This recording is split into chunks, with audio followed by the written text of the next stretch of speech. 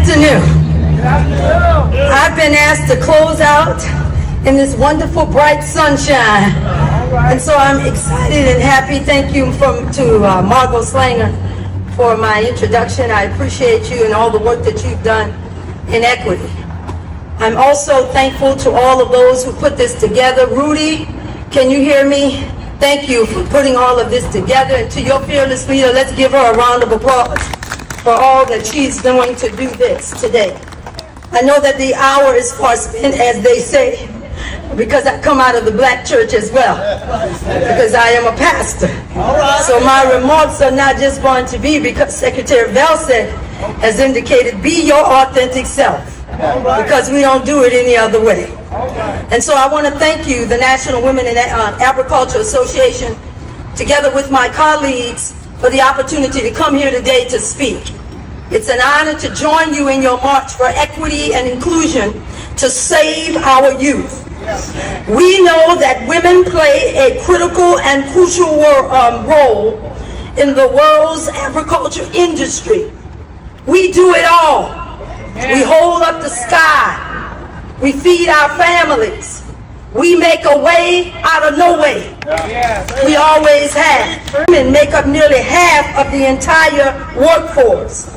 And as the daughter of a farmer, my grandfather used to say, whoever feeds you controls you. And he did that when I was in high school once. And he had watermelons on the back of his truck and he came to pick me up. And as any teenager, everybody else was being picked up in fine cars. But my grandfather was picking me up in a pickup truck full of watermelons. And he could see on my face that maybe I was a little bit embarrassed by it. But instead of rebuking me, he decided to give me an education in agriculture and who I would grow up to be as a woman. And he said to me, whoever feeds you controls you. And it's by the sweat of my brow that you will eat today. And what kind of food would be on your plate. And he says, there is honor in everything.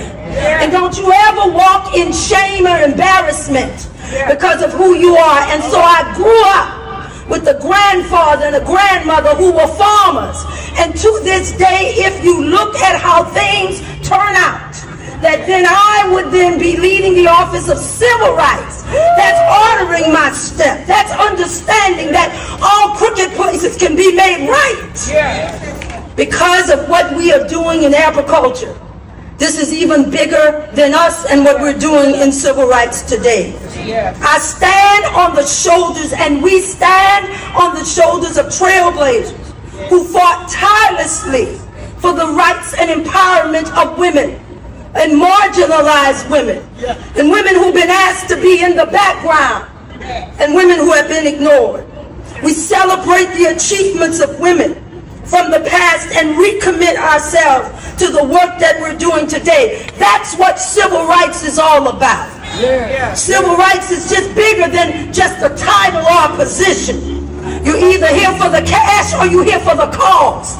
And I'm here for the cause. I didn't come here to have a job. I came to do a job because the stakes are so high today when it comes to equity and seeing that everybody has a seat at the table of opportunity.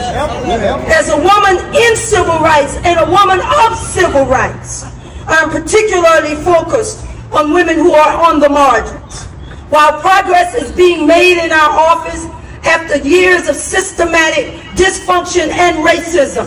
We're here today to own what we've done in our past and to say if you want to do better, you've got to stand forward and acknowledge what has been done and say we're going to do things a little bit differently. Yeah. Not pretend that it didn't happen, yeah. but just come out and say we're making changes. And I thank Secretary Vilsack and Deputy Secretary Torres Small for their honesty and transparency and allowing someone and having the foresight to have someone here in this position who is a civil rights advocate and champion for those who need somebody to be an advocate and for the law.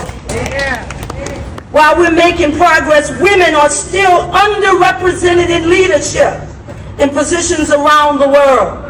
While there is a record of women in the House of Representatives, we only make up 28% of those in Congress.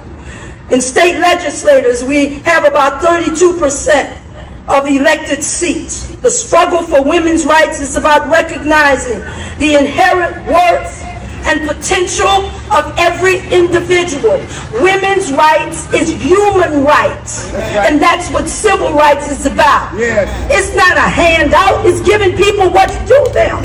And nobody should be discriminated against in any way. It's not right. It's not what it's supposed to be. As a little girl, I had dreams of coming to Washington, D.C. and being able to serve my country. And I'm here today proud to serve as Deputy Assistant Secretary. When I look out my window at the Washington monuments, my grandparents didn't live to see it. But they stand as ancestors over that great balcony in heaven to know that every sacrifice we made we made so that you can be here, but you didn't just come here to be quiet. You came here to represent. You came here to speak the truth. Came here to do right by people because you're counting on us to do it and we can do no less. So to start, I want to say to you that right now in our office, the office of the Assistant Secretary, we have 188 funded positions and 99 of them are filled by women. In addition, women hold 15 supervisory positions in our department. It's not enough just to have women in positions. It's crucial that we must listen and hear the voice of women when we are implementing policy. Yes. Gone are the days of giving people who fight for civil rights the scraps. We're entitled to a seat at the table to be fair and equitable. And I can tell you, I stand in my integrity as a former judge, former prosecutor, former state attorney general, and a pastor. USDA under Secretary Vilsack is now trying to do right by people because President Biden and Secretary Harris in 2022 issued an executive order that mandated that equity be preeminent in his administration. And USDA has surpassed that in every way. Let's give USDA a round of applause for what they're doing. Look, I look, I came here to give a big old speech, but it's getting too hot now. Come on. So I'm gonna close this out by saying, and I don't need any more words to say. Yeah. You hold on. All right. Keep doing what you're doing. Keep working with us because I can tell you we have over 100,000 employees. We don't always get it right. But I can promise you in the area of civil rights as it relates to women, every day of my life I know about the honor and the privilege because I'm here for something greater. Something greater. My steps are ordered in order to be able to do right by people.